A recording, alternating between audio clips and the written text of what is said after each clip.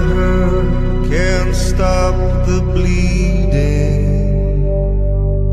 I am invisible, can't stop the thoughts nor the feeling. I don't exist at all. But when you call my name, you feel the same way? That we're trapped in time. We're both living a lie.